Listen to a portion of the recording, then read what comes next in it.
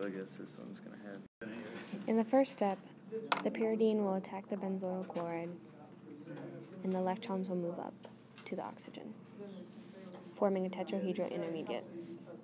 In the next step, the same electrons will fall back down and the chlorine will leave. In the third step, ethanol is introduced and will attack the electrophilic site, forming another intermediate, tetrahedral intermediate. The electrons will fall back down and the pyridine will leave. To form our final product, the pyridine will attack that H, and the electrons will move up to the oxygen, and our final product is formed.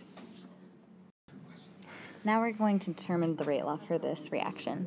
Since the rate determining step is the first step with the benzoyl chloride and the pyridine, the rate is the rate constant times the concentration of the pyridine and the concentration of the benzoyl chloride.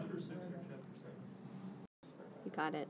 The second part of the question has ethanol attacking the benzoyl chloride, and then the alkoxide intermediate shifts down and the chlorine leaves.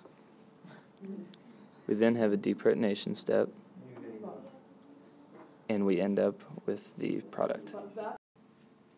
The first step of this reaction is the rate determining step, and so the rate law is K times the concentration of ethanol times the concentration of the benzoyl chloride.